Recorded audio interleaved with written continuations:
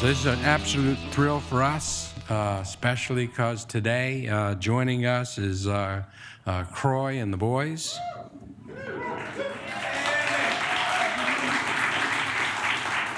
So Croy and the boys are uh, uh, Amy Hawthorne and Casey Seymour and Stephen Craig Carlson and Joe Cornetti and Bad Boy Croy. Croy and the boys make Austin, Texas music. Somewhere between hard country and hard boogie.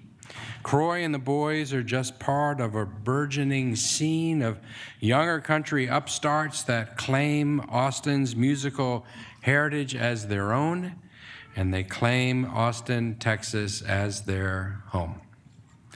You can find them at honky tonks around town as they work to remind people that in order for country to go outlaw, it has to come to Austin, Texas first. Please join me in welcoming Croy and the boys.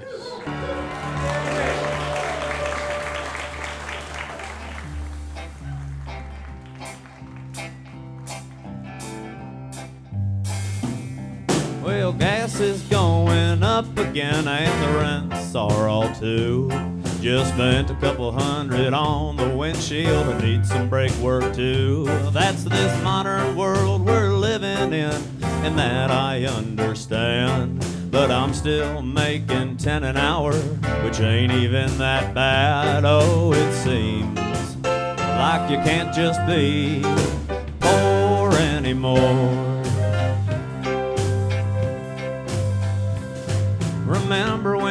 Were free, like museums and the zoo? Now you gotta pay just to drive on the highway and swim in the swimming pools. Automobile and health insurance, we all need legally. But the only plans that I can afford don't cover anything. Oh, it seems like you can't just be poor anymore.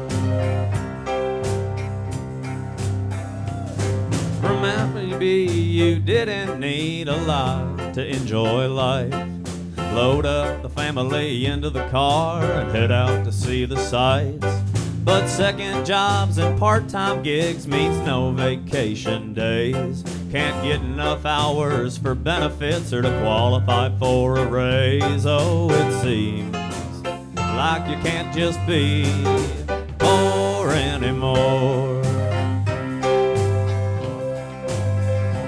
Well, I've been working hard every day, and still the bills they ain't getting paid. I used to believe that I'd done something wrong, but I'm doing just what my daddy did, and he managed to buy a home. Well, I don't need a brand new car, just something to get around. I don't the job of my dreams in a tall building downtown. I'm just trying to cut myself a slice of that American pie. Raise some kids, have some fun on the weekends, and live a decent life. Oh, it seems like you can't just be poor anymore. Oh, it seems like you can't just be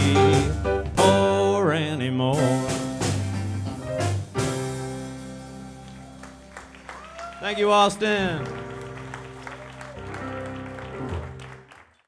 One of the things that really separates Austin from other music cities like LA, Nashville, whatever, is uh, I think that those cities attract people that are ready to start their career. And so they're super business minded. They're looking to, you know, kind of schmooze and just like, you know, like just kind of work their way up or whatever. And I feel like Austin is a really great place to be creative. And I think my experience has been that musicians and artists here are just super approachable because it's not a bunch of people cutthroat trying to get ahead. It's people that are legitimately enjoying making art and are looking to grow themselves artistically. And so just being real with people and you know making personal connections. I feel like everything that's happened for me so far my music career in Austin has been just through personal connections. It hasn't been like sending the right sounding emails to the right people. It's been like just hanging out at shows and being social with other artists and musicians. And the city's small enough that like if you just dig around, you can find where all the stuff is. You know, there's jazz scenes, there's hip hop scene, there's a huge Tejano scene. There's all this stuff, and it, you know they might be kind of compartmentalized, but you can find them, and just not being afraid to go outside of whatever you think your stuff is. Coming from Ohio, I never thought I would have an accordion in the band, or like sing songs sometimes that are in Spanish, but you know I was open to it, and that's one of the things I'm so thankful that I came down here for was having being open to that kind of stuff.